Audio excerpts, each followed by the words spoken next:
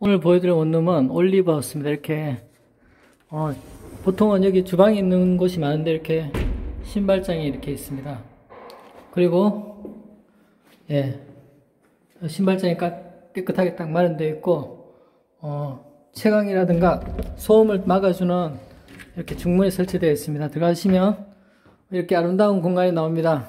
예, 오른쪽을 보시면 어, 이렇게 모든 것이 잘 세팅된 모습에 어, 분리되어 있는 주방 공간이 나옵니다. 욕실 또한 이렇게 고급스럽게 예, 정리되어 있습니다. 예, 방 안으로 들어보겠습니다. 이렇게 밝게 예, 환한 느낌의 깨끗한 깨끗하고 깔끔하게 네 모양을 확인할 수 있습니다. 텔레비도 있고 여기 문을 한번 열어보겠습니다. 이렇게 옷장이 또 이렇게 마련되어 있습니다. 침대 또한 이렇게 수납할 수 있는 공간으로 되어 있고, 네.